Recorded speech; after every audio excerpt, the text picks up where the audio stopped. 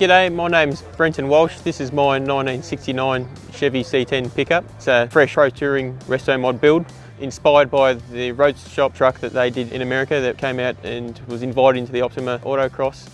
I purchased this truck seven years ago now and slowly started collecting bits and pieces to do the build that I wanted to do. We decided on running the TCI total cost involved pro touring front end suspension and rear end torque arm suspension. But along the way we did a lot of chassis modifications involving boxing the chassis rails, chromoly tubing, bracing tubing, gearbox crossmember mounts. There's a lot of other small bits and pieces along the way that uh, you chop and change and, and make better as, as you see fit.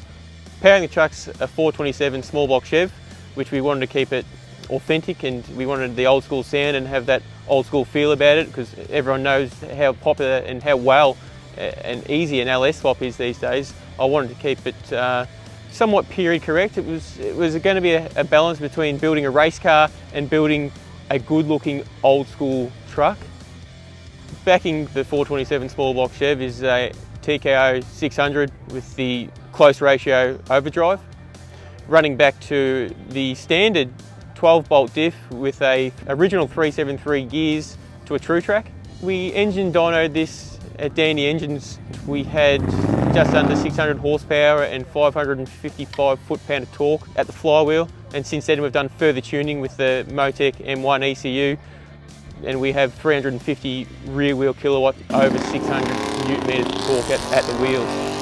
Other features that this build involves, it has launch control, traction control, along with the creature comforts of air conditioning um, comfortable seat, which we've uh, made out of an Italian leather. Kept the original bench, but highly modified it to keep that authentic truck look, which again was important in making this build not too much of a race car. It had to be still a nice interior.